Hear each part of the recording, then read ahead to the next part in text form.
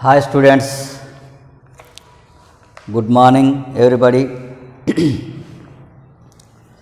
ఈరోజు second year economics territory sector తృతీయ రంగం అనే యూనిట్లో సేవల రంగం ప్రాధాన్యత తర్వాత నెక్స్ట్ టాపిక్ పర్యాటక రంగం గురించి తెలుసుకున్నాం సేవల రంగం పర్యాటక రంగం ఈ రెండింటి తర్వాత రవాణా రంగం ట్రాన్స్పోర్ట్ సెక్టర్ అండ్ బ్యాంకింగ్ రంగం. బ్యాంకింగ్ సెక్టర్ మరియు బీమా రంగం ఇన్సూరెన్స్ సెక్టర్. ఈ మూడు టాపిక్స్ని ఈరోజు క్లాస్లో తెలుసుకుందాం. మొట్టమొదట రవాణా ట్రాన్స్పోర్ట్ అంటే ఏంటి? ఈ ట్రాన్స్పోర్ట్ ఎన్ని రకాలు? తర్వాత స్థూల జాతీయ ఆదాయానికి ఈ ట్రాన్స్పోర్ట్ సమకూరుస్తున్న వాటా ఏ విధంగా ఉంది? మరి రవాణా రంగం యొక్క ప్రాముఖ్యత ముఖ్యంగా రోడ్డు రైల్వే రవాణా యొక్క ప్రాముఖ్యత ఏ విధంగా ఉంది అనే విషయాలు తెలుసుకుందాం. రవాణా అంటే ప్రయాణికులను సంపదను ఒక చోటు నుండి మరొక చోటుకు తరలించడాన్నే రవాణా అంటాం. మరి రవాణా అనేది పారిశ్రామిక రంగం అభివృద్ధికి మరియు వ్యవసాయ రంగ అభివృద్ధికి తోడ్పడుతుంది. ముఖ్యంగా పారిశ్రామిక రంగ అభివృద్ధికి అత్యంత ఆవశ్యకమైన అవస్థాపన సౌకర్యంగా చెప్పవచ్చు. ఆర్థిక వ్యవస్థలో రవాణా రంగాన్ని ఉత్పత్తి కేంద్రాలను పంపిణీ కేంద్రాలను అంతిమ వినియోగదారులను కలిపే వారధిగా భావించవచ్చు. ఉత్పత్తి చేసే కేంద్రాలను పంపిణీ చేసే కేంద్రాలను అంతిమ వినియోగదారులను ఈ మూడింటిని కలిపే వారధిగా రవాణా రంగం పనిచేస్తుంది. భారతదేశంలో రైల్వేలు రోడ్లు మరియు వాయు రవాణా నౌకా రవాణా మొదలగు నాలుగు ముఖ్యమైన రవాణా వ్యవస్థలు ఉన్నాయి రైల్వే రవాణా రోడ్డు రవాణా జల రవాణా వైమానిక రవాణా. మరి ఒక్కొక్క రవాణా వ్యవస్థ గురించి పరిశీలిద్దాం. ముందుగా రైల్వేలు తీసుకుంటే భారతదేశంలో రైల్వేలు అనేవి ఒకవైపు వ్యాపార సంస్థగాను మరొక వైపు ప్రజా సేవా సంస్థగాను తన పాత్రను పోషిస్త పోషించడం అనేది జరుగుతుంది. భారతదేశంలో మొట్టమొదటి రైలు మార్గం ముప్పై నాలుగు కిలోమీటర్ల పొడవు గల రైల్వే మార్గం అనేది పద్దెనిమిది వందల యాభై మూడు ఏప్రిల్లో వేయడం జరిగింది. ఒకే ఒక యాజమాన్యం క్రింద పనిచేయబడే లేదా నడిచే అతి పెద్ద సంస్థగా రైల్వే వ్యవస్థను చెప్పవచ్చు. ప్రభుత్వ రంగ సంస్థలన్నింటిలోకెల్లా రైల్వేలే ఎక్కువ మందికి ఉపాధిని కల్పించడం కూడా జరుగుతుంది. ఇది ఒకవైపు ప్రజాసేవా సంస్థగాను మరొక వైపు వ్యాపార సంస్థగాను తన పాత్రను నిర్వహించడం అనేది జరుగుతుంది. ప్రజాసేవా సంస్థగా తక్కువ వ్యయంతో ప్రయాణికులను ఒక చోటుకి మంచి మరొక చోటుకు చేరవేయడం వ్యాపార సంస్థగా సరుకు రవాణా విషయంలో పనిచేయడం అనేది జరుగుతుంది. రైల్వేలకు వచ్చే ఆదాయంలో ఎక్కువ భాగం సరుకు రవాణా ద్వారా మాత్రమే వస్తుంది. మరి భారతదేశంలో రైల్వేల యొక్క అభివృద్ధిని పరిశీలిస్తే ఇది పంతొమ్మిది వందల యాభై యాభై ఒకటిలో కేవలం యాభై మూడు వేల ఆరు వందల కిలోమీటర్ల పొడవు గల రైలు మార్గాలు ఉండగా ప్రస్తుతం ఇది అరవై ఎనిమిది కిలోమీటర్లకు అరవై ఎనిమిది వేల కిలోమీటర్లకు పెరిగింది. పంతొమ్మిది వందల యాభై యాభై ఒకటిలో యాభై మూడు వేల ఆరు వందల కిలోమీటర్లు ఉంటే ప్రస్తుతం రెండు వేల పద్దెనిమిది పంతొమ్మిది సంవత్సరం నాటికి తీసుకుంటే అరవై ఎనిమిది వేల కిలోమీటర్లకు పెరిగింది. అయితే పంతొమ్మిది వందల యాభై యాభై ఒకటిలో కేవలం ఎనభై తొమ్మిది డీజిల్ ఇంజన్లు మరియు విద్యుత్తో నడిచే ఇంజన్లు ఉండగా మరి రెండు వేల ఆరు మార్చి నాటికి ఈ డీజిల్ మరియు విద్యుత్తో నడిచే ఇంజన్ల సంఖ్య ఎనిమిది వేల ఇరవై ఐదుకు పెరగడం జరిగింది. రైల్వే రవాణా ద్వారా వచ్చిన ఆదాయం పంతొమ్మిది వందల యాభై యాభై ఒకటిలో నూట ముప్పై తొమ్మిది పాయింట్ మూడు కోట్ల రూపాయలు ఉండగా రెండు వేల ఏడు ఎనిమిది ఆర్థిక సంవత్సరంలో వచ్చిన ఆదాయం డెబ్బై ఒక్క వెయ్యి ఏడు వందల ఇరవై కోట్ల రూపాయలకు పెరిగింది. మొత్తం రవాణా ఆదాయంలో రైల్వేల ద్వారా రైల్వే రవాణా ద్వారా వచ్చిన మొత్తం ఆదాయంలో అరవై ఐదు శాతం వస్తువుల రవాణా ద్వారా సమకూరితే ప్రయాణికులు ప్రయాణించినందువలన ఇరవై ఎనిమిది శాతం ఆదాయం సమకూరుతుంది. అంటే అరవై ఐదు శాతం సరుకు రవాణా ద్వారా ఇరవై ఎనిమిది శాతం ప్రయాణికుల రవాణా ద్వారా రైల్వేలు తమ ఆదాయాన్ని సంపాదిస్తే మిగతా ఆధారాల నుండి అంటే రైల్వే స్టేషన్లలో క్యాంటీన్లు బుక్ స్టాళ్ళు ఇతర అద్దెల నుంచి వచ్చే ఆదాయం ఏడు శాతం ఉన్నదని చెప్పవచ్చు. అయితే భారత రైల్వేలు చెప్పుకోదగ్గ అభివృద్ధిని సాధించాయి. అయినప్పటికీ ఇవి మరింత అభివృద్ధిని సాధించాల్సిన అవసరం ఉంది. ముఖ్యంగా రైల్వేలు ఉన్నత సాంకేతిక స్థాయిని సాధించడం దేశంలోని అన్ని ప్రాంతాలకు విస్తరించడం అనేది తర్వాత ప్రయాణికులకు అందించే సదుపాయాలు పెంచవలసిన అవసరం ఎంతైనా ఉంది.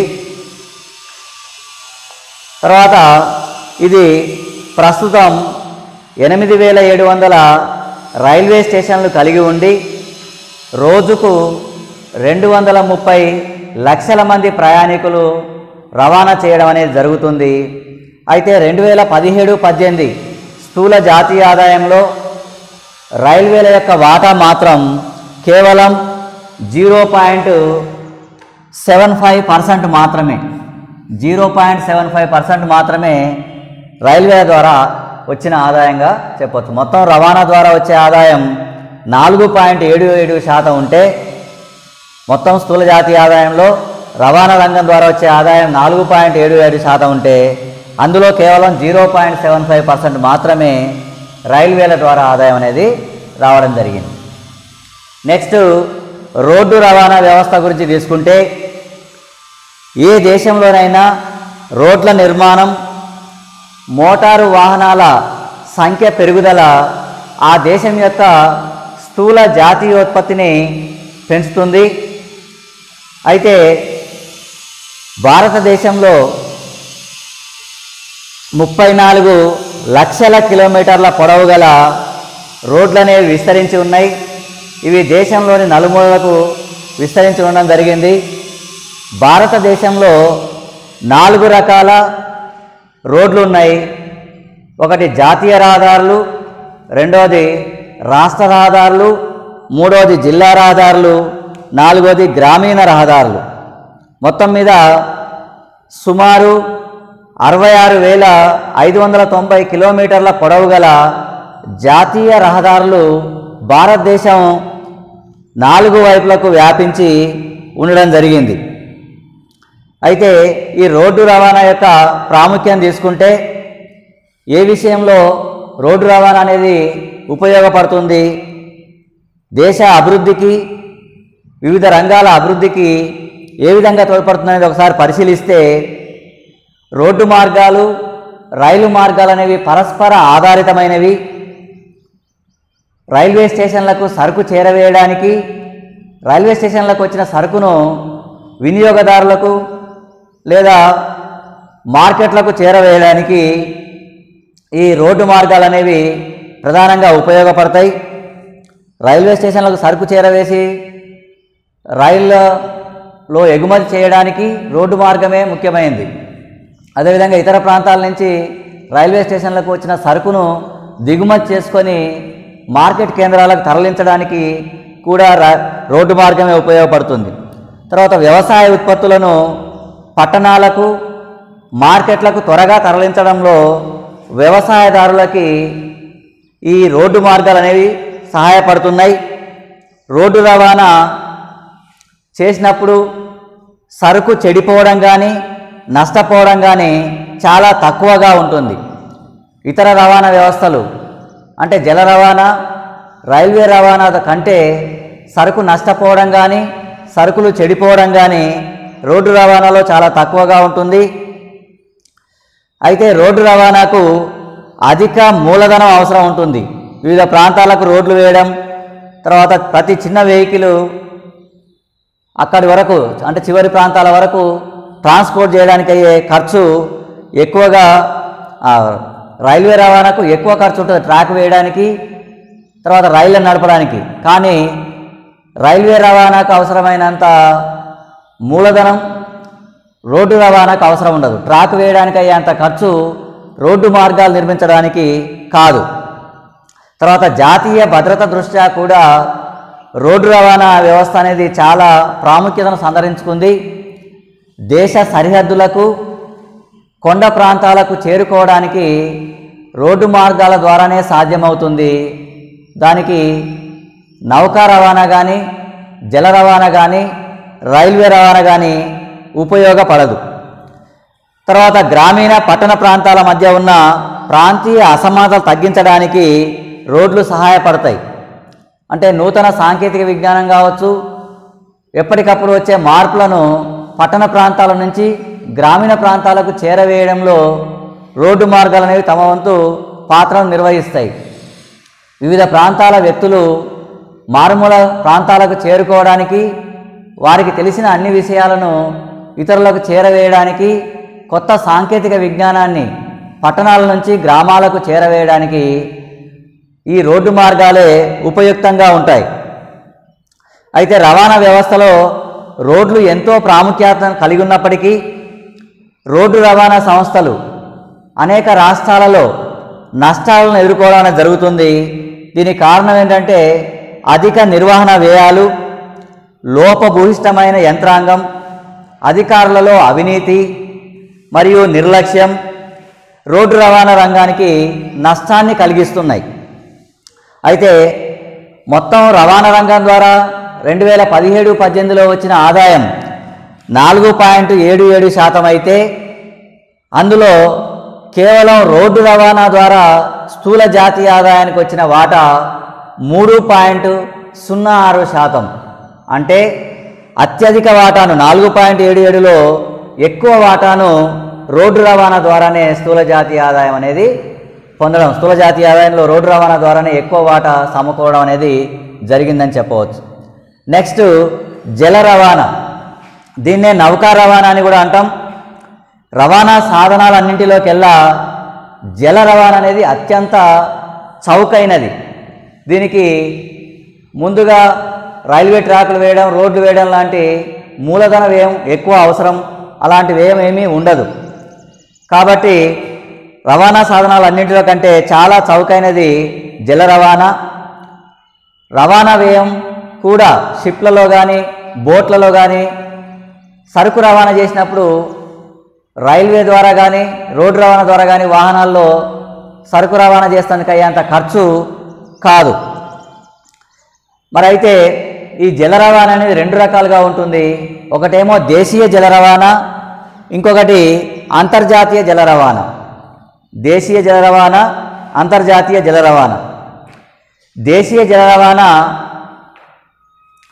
భారతదేశంలో సుమారు పద్నాలుగు వేల ఐదు వందల కిలోమీటర్ల నౌకా మార్గం ఉంది. ప్రస్తుత కాలంలో రైల్వేల నుంచి మరియు నీటిపారుదల సౌకర్యాల కోసం నీటి మళ్ళింపు నదులలో కొండ చర్యలు విరిగిపోవడం మొదలైన కారణాల వలన దేశీయ జల రవాణా పరిమాణం చాలా వరకు తగ్గింది. దేశీయ జల రవాణా అనేది ఎక్కువ ఆచరించడం లేదు.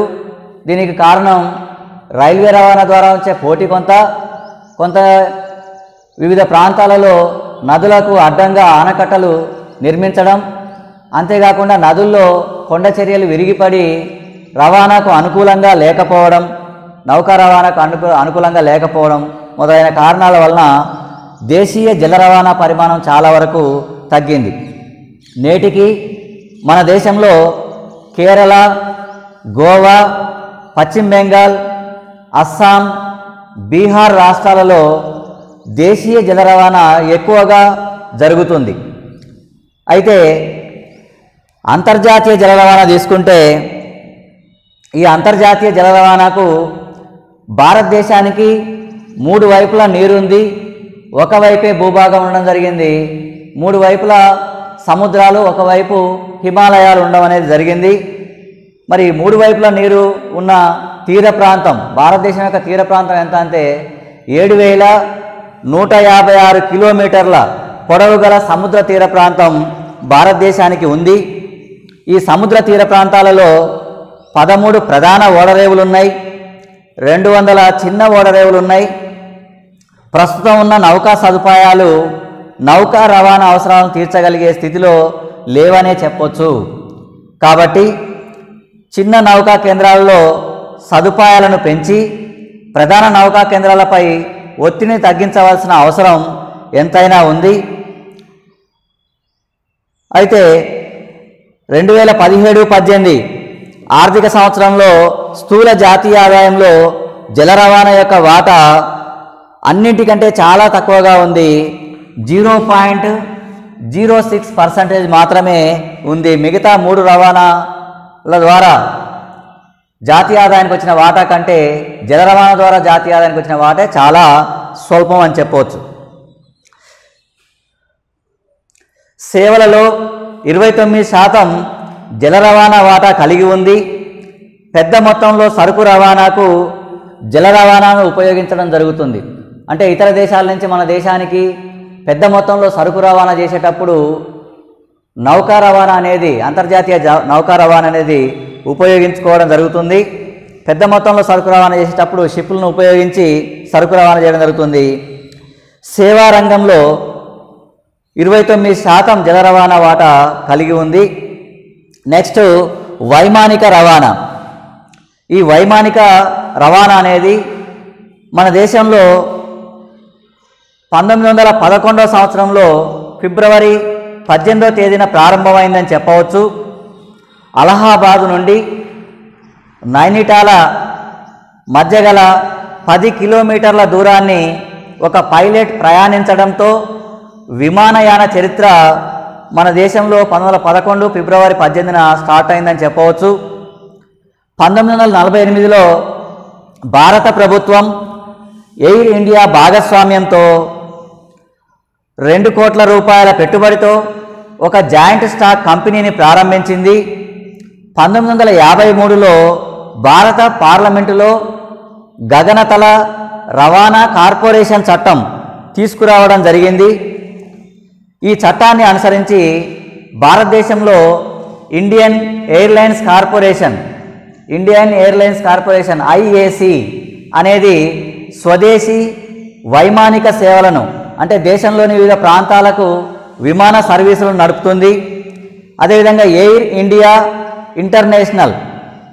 Air India International Corporation. Air India International Corporation AIC అనేది అంతర్జాతీయ వైమానిక సేవలను అందిస్తుంది. అంటే మన దేశం నుంచి వివిధ దేశాలకు విమానాలు నడిపే సేవలను ఎయిర్ ఇండియా ఇంటర్నేషనల్ కార్పొరేషన్ అందిస్తుంది. భారతదేశంలోని వివిధ ప్రాంతాలకు రాష్ట్రాలకు విమాన సర్వీసులు నడిపించే బాధ్యతను ఇండియన్ ఎయిర్లైన్స్ కార్పొరేషను అందిస్తుందని చెప్పొచ్చు. అయితే భారతదేశంలో పంతొమ్మిది వందల యాభై ఐదు నుండి ప్రైవేటు సంస్థలు కూడా వైమానిక రవాణాను అనుమతించడం జరిగింది. ప్రస్తుతం ఏడు ప్రైవేటు సంస్థలు ముప్పై నాలుగు విమానాలతో మన దేశంలో గగనతల రవాణా సేవలు అంటే వైమానిక సర్వీసులు నడపడం జరుగుతుంది. ఇండియన్ ఎయిర్లైన్స్ కార్పొరేషన్ ఐఏసి యాభై తొమ్మిది విమానాలు కలిగి ఉన్నాయి. ఎయిర్ ఇండియా ఇంటర్నేషనల్ కార్పొరేషన్ ఇరవై ఆరు విమాన సర్వీసులను కలిగి ఉండి భారతదేశంలో నూట ముప్పై ఆరు విమానాశ్రయాలను కలిగి ఉండడం జరిగింది. పౌర వైమానిక రవాణా ఎంతో ఖరీదైనప్పటికీ ఇది చాలా వేగవంతమైంది. పారిశ్రామికవేత్తలు సాంకేతిక నిపుణులు త్వరితగతిన వివిధ ప్రదేశాలకు వెళ్ళి వారి యొక్క సేవలను అందించడానికి ఈ వైమానిక రవాణా అనేది చాలా వీలు కల్పిస్తుంది. నిర్వాహకులు కానీ సాంకేతిక నిపుణులు కానీ డాక్టర్స్ ఇంజనీర్స్ వాళ్ళ యొక్క సేవలను వివిధ దేశాల్లో అందించడానికి వైమానిక రవాణా ఎంతో ఉపయోగపడుతుంది. వనరులు కొరతగా ఉన్న దేశాలలో సాంకేతిక యాజమాన్య నైపుణ్యాలను పెంచడానికి వైమానిక రవాణా ఎంతో తోడ్పడుతుంది. పౌర వైమానిక సేవలు అందించే పలు సంస్థలు ప్రస్తుతం మన దేశంలో ఉన్నాయి. Air India Indian Airlines Corporation వాయుదూతులు ఈ సేవలను అందిస్తున్నాయి. అంతేకాకుండా టాటా వారి ఇండిగో సర్వీసులు లాంటివి కూడా ప్రైవేట్ సంస్థలు నడిపిస్తున్నాయి. పౌర వైమానికయాన వ్యవస్థ యొక్క ఆదాయం పంతొమ్మిది వందల డెబ్బై డెబ్బై ఒకటిలో నలభై ఏడు పాయింట్ ఐదు రెండు కోట్ల రూపాయలు ఉండగా రెండు వేల ఎనిమిది తొమ్మిది సంవత్సరం నాటికి మూడు వందల ఇరవై ఎనిమిది పాయింట్ పది కోట్ల రూపాయలకు పెరగడం జరిగింది. ఇదే కాలంలో విమానాల ద్వారా ప్రయాణించిన ప్రయాణికుల సంఖ్య ఇరవై ఆరు పాయింట్ ఒకటి ఏడు లక్షల మంది నుండి నూట తొమ్మిది పాయింట్ రెండు సున్నా లక్షల మందికి పెరిగింది. అదేవిధంగా రెండు వేల పదిహేడు పద్దెనిమిది స్థూల జాతీయ ఆదాయంలో వైమానిక రవాణా వాటా zero point one five percent ఉండడం జరిగింది. అంటే మొత్తం మీద నాలుగు రకాల రవాణా వ్యవస్థల్లో స్థూల జాతీయ ఆదాయానికి అధిక ఆదాయాన్ని అందించేది రోడ్డు రవాణా మొదటి స్థానం తర్వాత రైల్వే రవాణా రెండో స్థానం వైమానిక రవాణా మూడో స్థానం జల రవాణా నాలుగో స్థానాన్ని సంతరించుకున్నాయని ఈ సందర్భంలో చెప్పవచ్చు. నెక్స్ట్ బ్యాంకింగ్ రంగం. భారతదేశంలో బ్యాంకింగ్ రంగాన్ని ఒకసారి పరిశీలిస్తే దేశ ఆర్థికాభివృద్ధికి అభివృద్ధి చెందిన బ్యాంకింగ్ వ్యవస్థ అనేది ఎంతో ముఖ్యం. ఒక దేశంలోని పొదుపులను సమీకరించి దాన్ని పెట్టుబడులకు మళ్ళించడానికి బ్యాంకింగ్ వ్యవస్థ ఉపయోగపడుతుందని చెప్పవచ్చు. పొదుపు పెట్టుబడుల మధ్య బ్యాంకులు సంధానకర్తలుగా పనిచేస్తూ ఉంటాయి. పొదుపులను పెట్టుబడిగా మార్చడానికి తోడ్పడుతుంటాయి. వివిధ అవసరాలకు పరపతిని అందించి తమ జీవితాలను మెరుగుపరుచుకునేందుకు ప్రజలకు అవకాశం కల్పించడమే కాక తాము నివసిస్తున్న తాము నిర్వహిస్తున్న కార్యక్రమాల్లో స్త్రీలకు సాధికారత లభించే అవకాశాన్ని కూడా బ్యాంకులు కల్పిస్తున్నాయి. అంతేకాకుండా మన దేశంలో బ్యాంకులు సాంఘిక ఆర్థిక అభివృద్ధిని సాధించడంలో కీలక పాత్రను పోషిస్తున్నాయని చెప్పవచ్చు. భారతదేశంలోని బ్యాంకింగ్ రంగాన్ని మూడు రకాలుగా విభజించవచ్చు. మొదటిది రిజర్వ్ బ్యాంక్ ఆఫ్ ఇండియా. భారతీయ రిజర్వ్ బ్యాంక్ అని పిలుస్తున్నాం. రెండవది వాణిజ్య బ్యాంకులు షెడ్యూల్డ్ వాణిజ్య బ్యాంకులు అంటున్నాం. తర్వాత మూడవది సహకార బ్యాంకులు షెడ్యూల్డ్ సహకార బ్యాంకులుగా చెప్పడం జరుగుతుంది. షెడ్యూల్డ్ బ్యాంకుల యొక్క నిర్మాణం చూస్తే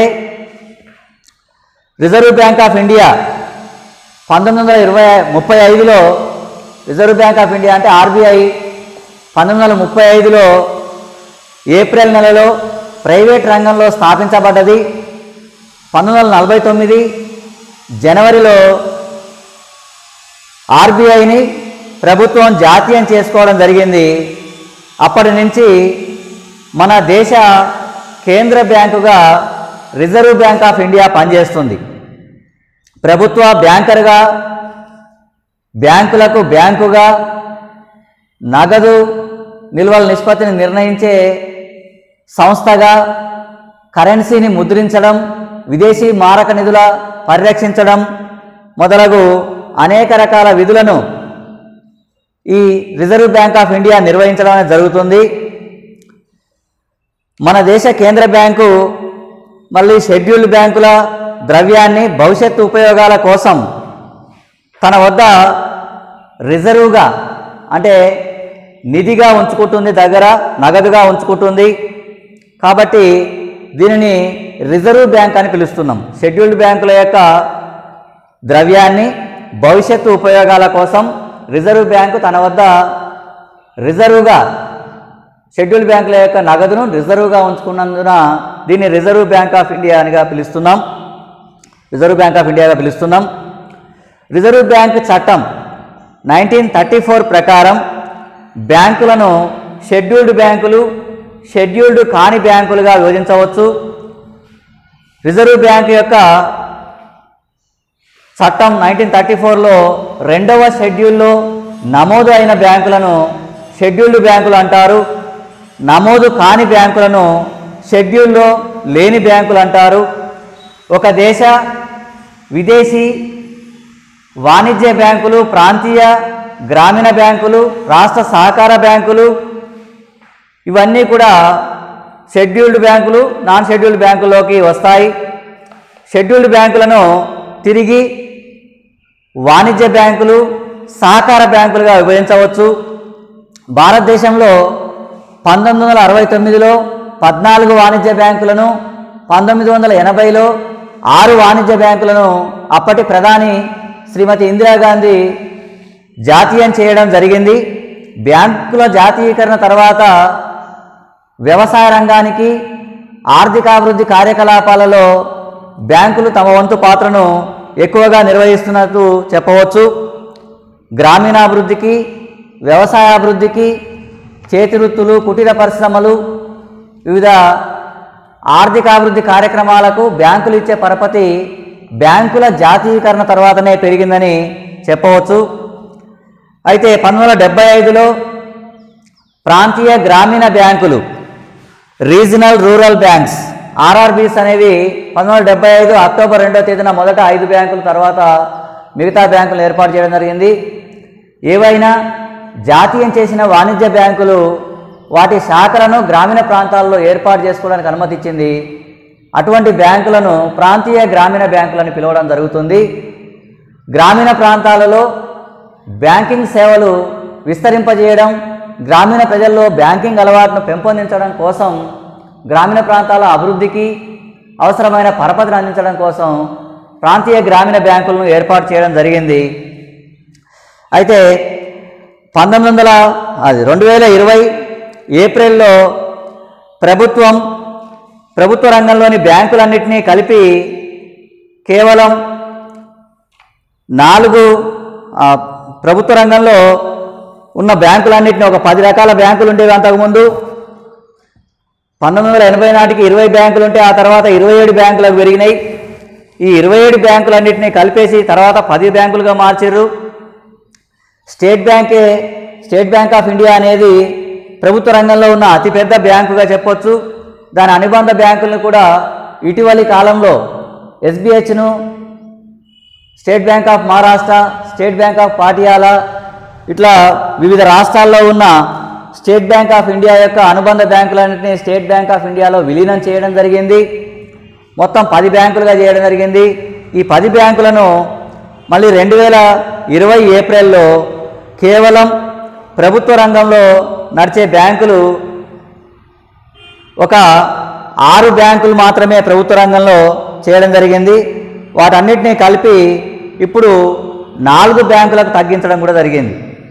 అంటే ఇరవై ఏడు బ్యాంకులుగా ఉన్నవి పది బ్యాంకులుగా పది బ్యాంకులుగా ఉన్నవి ఆరు బ్యాంకులుగా ఆరు బ్యాంకులుగా ఉన్నవి ప్రస్తుతం కేవలం నాలుగు రకాల ప్రభుత్వ రంగ బ్యాంకులకు కుదించడం అనేది అంటే కలిపివేసి వివిధ రకాల బ్యాంకులన్నింటినీ కలిపి తమ కార్యకలాపాలు నిర్వహించడం అనేది నిర్వహిస్తున్నారు. స్వల్పకాలిక రుణాలను ఇస్తూ సహకార బ్యాంకుల వ్యవస్థ పరిధి కిందకు వచ్చే రాష్ట్ర సహకార బ్యాంకులు జిల్లా కేంద్ర బ్యాంకులు ప్రాథమిక వ్యవసాయ పరప సంఘాలను కలిపి సహకార బ్యాంకులుగా పిలవడం జరుగుతుంది. ఇవన్నీ కూడా భారతదేశంలో ఉన్న ప్రభుత్వ బ్యాంకులు ప్రైవేటు బ్యాంకులు విదేశీ బ్యాంకులు తర్వాత షెడ్యూల్డ్ సహకార బ్యాంకులు షెడ్యూల్డ్ వాణిజ్య బ్యాంకులు జాతీయం చేసిన బ్యాంకులు తర్వాత స్టేట్ బ్యాంక్ ఆఫ్ ఇండియా దాని అనుబంధ బ్యాంకులు ప్రైవేట్ బ్యాంకుల్లో పాత ప్రైవేట్ బ్యాంకులు కొత్త ప్రైవేట్ బ్యాంకులు షెడ్యూల్డ్ సహకార బ్యాంకుల్లో పట్టణ బ్యాంకులు రాష్ట్ర సహకార బ్యాంకులు ఇవన్నీ కూడా బ్యాంకింగ్ వ్యవస్థ కిందికి వస్తాయి. నెక్స్ట్ బీమా రంగం. బీమా అంటే ఏంటి? భారతదేశంలో బీమా అనేది ఎన్ని రకాలు? మరి బీమా సంస్థల లక్ష్యాలు ఏంటివి?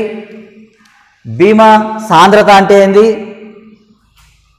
బీమా వ్యాపారం యొక్క పురోగతి భారతదేశంలో ఏ విధంగా ఉంది? ఈ విషయాలను చూద్దాం. బీమా వ్యాపారం అనేది నష్ట భయాన్ని ఎదుర్కొనేందుకు ఉద్దేశించిందే బీమా వ్యాపారం.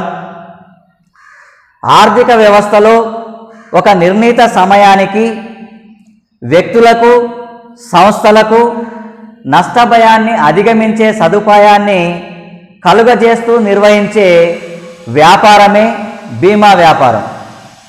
మళ్ళీ ఒకసారి నేను డెఫినేషన్. ఒక ఆర్థిక వ్యవస్థలో ఒక నిర్ణీత సమయానికి వ్యక్తులకు సంస్థలకు నష్టభయాన్ని అధిగమించే సదుపాయాన్ని కలుగజేస్తూ నిర్వహించే వ్యాపారమే బీమా వ్యాపారం. బీమా వ్యాపారాన్ని ప్రధానంగా మూడు రకాలు చేయొచ్చు. ఒకటి జీవిత బీమా రెండవది ఆరోగ్య బీమా మూడవది సాధారణ బీమా. అయితే ఈ ఆరోగ్య బీమా సాధారణ బీమా సదుపాయాల్ని భారతదేశంలో జీఐసి జనరల్ ఇన్సూరెన్స్ కార్పొరేషన్ అందిస్తే జీవిత బీమా సదుపాయాన్ని ఎల్ఐసి లైఫ్ ఇన్సూరెన్స్ కార్పొరేషను అందించడం జరుగుతుంది. ఇప్పుడు ఈ రెండు సంస్థల గురించి తెలుసుకుందాం.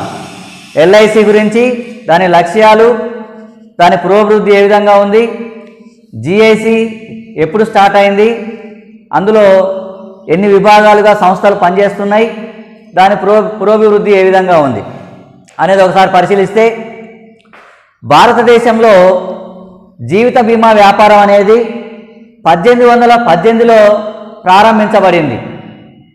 జీవిత బీమా వ్యాపారం పద్దెనిమిది వందల పద్దెనిమిదిలో ఎయిటీన్ ఎయిటీన్లో ప్రారంభిస్తే ఈ జీవిత బీమా వ్యాపారాన్ని సంబంధించి ఒక చట్టాన్ని జీవిత బీమా వ్యాపారానికి సంబంధించిన ఒక చట్టాన్ని పంతొమ్మిది వందల యాభైలో చేయబడది. జీవిత బీమా వ్యాపారానికి సంబంధించిన చట్టం పంతొమ్మిది వందల యాభైలో చేయబడింది. తర్వాత వివిధ సంస్థలు ప్రైవేట్ రంగంలో జీవిత బీమా సదుపాయాన్ని అందించే వివిధ సంస్థలన్నింటినీ ప్రభుత్వం జాతీయం చేయడం అనేది పంతొమ్మిది వందల యాభై ఆరులో చేయబడింది. అంటే భారతదేశంలో ఎల్ఐసి స్థాపన నైన్టీన్ ఫిఫ్టీ సిక్స్. వివిధ ప్రైవేట్ రంగంలో ఉన్న జీవిత బీమా సంస్థలన్నింటినీ జాతీయం చేసి పంతొమ్మిది వందల యాభై ఆరులో Life Insurance Corporation of India భారతీయ జీవిత బీమా సంస్థను నెలకొల్పడం జరిగింది. ప్రస్తుతం ఈ బీమా సంస్థకు ఆరు జోనల్ కార్యాలయాలు నూట పదమూడు డివిజనల్ కార్యాలయాలు రెండు వేల నలభై ఎనిమిది బ్రాంచ్ కార్యాలయాలు ఉండడం జరిగింది. ఈ జీవిత బీమా సంస్థ యొక్క లక్ష్యం ఏంటంటే తక్కువ వ్యయంతో బీమా సౌకర్యాన్ని ప్రజలందరికీ అందించడం తర్వాత బీమాతో కూడిన పొదుపు పథకాలను ప్రవేశపెట్టి ప్రజల వద్ద నుండి పొదుపును సమీకరించడం నెక్స్ట్ పాలసీదారులకు మరియు దేశానికి లాభాలు చేకూర్చే విధంగా బీమా చేయబడిన మొత్తాలను పెట్టుబడులకు మళ్ళించడం. అంటే తక్కువ వ్యయంతో ప్రజలకి బీమా సదుపాయాన్ని కల్పించడం వివిధ పొదుపుతో కూడిన ఆకర్షణీయమైన పథకాలను రూపొందించి పొదుపులను సమీకరించడం సమీకరించిన పొదుపును దేశ పారిశ్రామిక ఆర్థిక అభివృద్ధి కోసం పెట్టుబడులకు మళ్ళించడం పాలసీదారులకు నమ్మకంగా వ్యక్తిగతమైన సామాజికమైన ప్రయోజనాలు కల్పించడం. పాలసీదారులకు నమ్మకమైన వ్యక్తిగత సామాజిక ప్రయోజనాలు కల్పించడం బీమా వ్యాపారాన్ని పొదుపుగా నిర్వహించడం అనేది జీవిత బీమా సంస్థ యొక్క లక్ష్యం. అయితే పైన ప- పేర్కొన్న లక్ష్యాలన్నింటినీ సాధించడానికి ఎల్ఐసి పాలసీదారుల అవసరాలకు అనుగుణంగా ఉండే వివిధ పథకాలను రూపొందించి కొత్త కొత్త పథకాలని అమలు చేస్తుంది. అయితే ప్రస్తుతం నేడు ఇరవై ఒక్క ప్రైవేటు జీవిత బీమా సంస్థలు పనిచేస్తూ ఉన్నాయి. జీవిత బీమా వ్యాపారాన్ని నిర్వహిస్తూ ఉన్నాయి. అంటే ఎల్ఐసి మాత్రమే జీవిత బీమా సదుపాయానికి అందించడం లేదు. ప్రస్తుతం మరొక ఇరవై ఒకటి ప్రైవేటు జీవిత బీమా వ్యాపారాన్ని అందించే సంస్థలు కూడా జీవిత బీమా కార్యకలాపాలు నిర్వహిస్తున్నాయి. Next GIC General Insurance Corporation.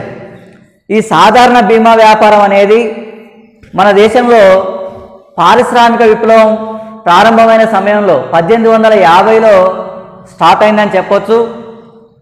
అయితే ఈ సాధారణ బీమా వ్యాపారానికి సంబంధించిన General Insurance Council General Insurance Council అనేది పంతొమ్మిది వందల యాభై ఏడులో ఏర్పాటు చేయబడి దాని ద్వారా సాధారణ బీమా వ్యాపారాన్ని నిర్వహించబడేది సాధారణ బీమా వ్యాపారం ఎక్కువ మందికి పెద్ద మొత్తంలో అందించడం కోసం ఎక్కువ సంస్థల్ని పరిధిలోకి తీసుకురావడం కోసం భారీ స్థాయిలో నిర్వహించడానికి జనరల్ ఇన్సూరెన్స్ కౌన్సిల్ అనే ఒక సంఘంగా ఏర్పడి పంతొమ్మిది వందల యాభై ఏడు నుంచి పెద్ద మొత్తంలో సాధారణ బీమా వ్యాపారం అనేది నిర్వహించబడుతుంది. అయితే ఈ సాధారణ బీమా వ్యాపారాన్ని పంతొమ్మిది వందల డెబ్బై ఒకటిలో జాతీయం చేయడం జరిగింది. పంతొమ్మిది వందల డెబ్బై ఒకటిలో జాతీయం చేసి అనేక ప్రైవేట్ రంగంలో ఉన్న సాధారణ బీమా వ్యాపారాన్ని నిర్వహించే సంస్థలన్నింటినీ కలిపి జిఐసిగా నామకరణం జనరల్ ఇన్సూరెన్స్ కార్పొరేషన్గా పంతొమ్మిది వందల డెబ్బై రెండులో ఏర్పాటు చేయడం జరిగింది. అంటే సాధారణ బీమా పరిశ్రమను పంతొమ్మిది వందల డెబ్బై ఒకటిలో జాతీయం చేయడం కేంద్ర ప్రభుత్వం పంతొమ్మిది వందల డెబ్బై రెండులో సాధారణ బీమా సంస్థను నెలకొల్పడం జరిగింది. జాతీయం చేయక ముందుకు మన దేశంలో నడుస్తున్న నూట ఏడు సాధారణ బీమా కంపెనీలన్నింటినీ కలిపేసి ప్రధానంగా ఒక నాలుగు కంపెనీలుగా మార్చివేయడం జరిగింది. అందులో ఒకటి National Insurance Company Limited National Insurance Company Limited రెండవది United India Insurance Company Limited United India Insurance Company Limited. మూడవది ఓరియంటల్ ఇన్సూరెన్స్ కంపెనీ లిమిటెడ్. మూడవది ఓరియంటల్ ఇన్సూరెన్స్ కంపెనీ లిమిటెడ్. నాలుగోది New India Assurance Company Limited. మొత్తం మీద నాలుగు సంస్థలుగా విభజించడం జరిగింది. National Insurance Company Limited United India Insurance Company Limited Oriental Insurance Company Limited New India Assurance Company Limited. ఈ నాలుగు కంపెనీలు భారతదేశం అంతటా ఒకదానితో ఒకటి పోటీ పడుతూ తమ కార్యకలాపాలు నిర్వహించడం జరుగుతుంది. సాధారణంగా బీమా సంస్థలు జోనల్ సాధారణ బీమా సంస్థలు కూడా జోనల్ డివిజనల్ బ్రాంచ్ కార్యాలయాల్ని దేశవ్యాప్తంగా స్థాపించి వాటి వ్యాపారాన్ని విస్తరింపజేయడం అనేది జరుగుతుంది. అయితే రెండు వేల రెండులో సాధారణ బీమా వ్యాపారాన్ని సాధారణ బీమా చట్టాన్ని మళ్ళీ సవరణ చేయడం. సాధారణ బీమా వ్యాపార చట్టాన్ని సవరణ చేసి ఈ నాలుగు సంస్థలు స్వతంత్రంగా ఒకదాని మీద మరొకటి ఆధారపడకుండా స్వతంత్రంగా వాటి వాటి కార్యకలాపాలు నిర్వహించవలసిందిగా పేర్కొనడం జరిగింది సవరణ చేయడం జరిగింది. రెండు వేల పద్దెనిమిది అక్టోబర్లో Insurance Regulatory Authority of India. Insurance Regulatory Authority of India IR AI IRAI అనే ఒక చట్టాన్ని తీసుకురావడం జరిగింది. ఈ చట్టం ద్వారా ఈ సాధారణ బీమా వ్యాపారాన్ని నిర్వహించే మరొక ముప్పై నాలుగు ఇతర ప్రైవేట్ సంస్థలను కూడా సాధారణ బీమా వ్యాపారంలోకి అనుమతించడం కూడా జరిగింది. ఐఐ ఐఆర్ఏ అనేది Insurance Regulatory Authority of India అనేది ఇంకొక ముప్పై నాలుగు ప్రైవేటు కంపెనీలకు అనుమతినిచ్చి వాటికి గుర్తింపునివ్వడం కూడా జరిగింది. అంటే సాధారణ బీమా సంస్థ ప్రభుత్వ రంగంలో ఉన్న నాలుగు సంస్థలే కాకుండా మరొక ముప్పై నాలుగు సంస్థలు ప్రైవేట్ సంస్థలు కూడా సాధారణ బీమా వ్యాపారాన్ని భారతదేశంలో నిర్వహిస్తూ ఉన్నాయి. అయితే ఈ బీమా వ్యాపారం యొక్క ప్రగతిని పురోగతిని తెలపడం కోసం అంచనా వేయడం కోసం బీమా సాంద్రత అనే పదాన్ని ఉపయోగించడం జరుగుతుంది. బీమా పరిశ్రమ ప్రగతి బీమా సాంద్రత అనే సూచిక సహాయంతో కొలవడం జరుగుతుంది. అంటే ఇన్సూరెన్స్ రంగం యొక్క అభివృద్ధిని బీమా సాంద్రత అనే సూచిక ఆధారంగా కొలవడం జరుగుతుంది. మొత్తం జనాభాకున్న ప్రీమియం నిష్పత్తిని ఈ సూచిక తెలియజేస్తుంది. మొత్తం మీద ఎంతమంది ఇన్సూరెన్స్ చేస్తున్నారు దేశ జనాభా ఎంత? ఇన్సూరెన్స్ చేసిన మొత్తం బై దేశ జనాభా వేసి భాగిస్తే సగటున ఒక్కొక్క వ్యక్తికి ఎంత ప్రీమియం చెల్లిస్తున్నారు? ఒక్కొక్క వ్యక్తి సగటున ఎంత ప్రీమియం చెల్లిస్తున్నారు? ఎంత జనాభాకు ఇన్సూరెన్స్ ప్రీమియం నిష్పత్తికి మధ్యనున్న నిష్పత్తిని ఈ సూచిక తెలియజేస్తుంది. అంటే ఇన్సూరెన్స్ చేసిన అమౌంట్ను జనా జనసంఖ్యతో భాగిస్తే సగటున ఒక్కొక్క వ్యక్తి చేసే ప్రీమియం వస్తుంది. బీమా సాంద్రత అనేది సగటు బీమా మొత్తాన్ని తెలియజేస్తుంది. యావరేజ్గా ఒక్కొక్క వ్యక్తికి ఎంత బీమా ఉంది అనే విషయాన్ని తెలియజేస్తుంది. భారతదేశంలో బీమా సాంద్రత ఇతర దేశాలతో పోలిస్తే చాలా తక్కువగా ఉందని చెప్పొచ్చు. మన దేశంలో బీమా సాంద్రత రెండు వేల ఒకటిలో పదకొండు పాయింట్ ఐదు అమెరికన్ డాలర్లు ఉండగా ఇది రెండు వేల పద్దెనిమిది నాటికి డెబ్బై నాలుగు అమెరికన్ డాలర్లకు పెరిగింది. రెండు వేల ఒకటిలో పదకొండు పాయింట్ ఐదు డాలర్లు ఉన్నది రెండు వేల పద్దెనిమిదిలో డెబ్బై నాలుగు అమెరికన్ డాలర్లకు పెరిగింది.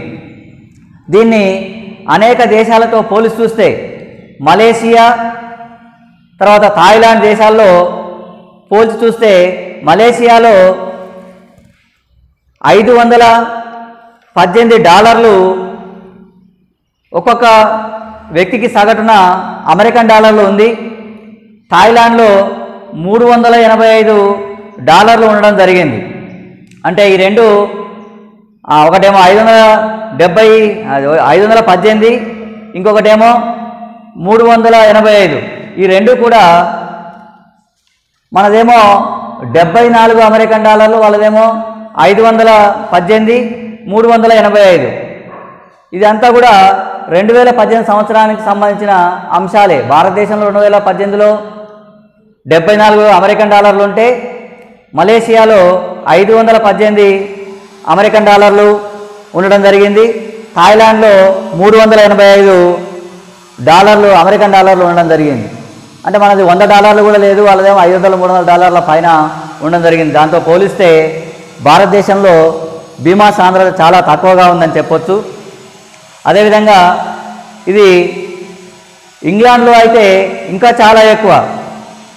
వాళ్ళ దేశంలో ఏడు వేల పైన అమెరికన్ డాలర్లో బీమా సాంద్రత అనేది ఉంది. అనేక అభివృద్ధి చెందుతున్న దేశాలతో పోలిస్తే మనకంటే చిన్న చిన్న దేశాలు మలేషియా థాయిలాండ్ అనేవి చిన్న చిన్న దేశాలు అభివృద్ధి చెందుతున్న దేశాలు.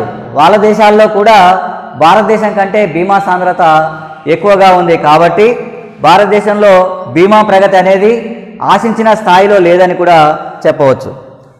Okay students thank you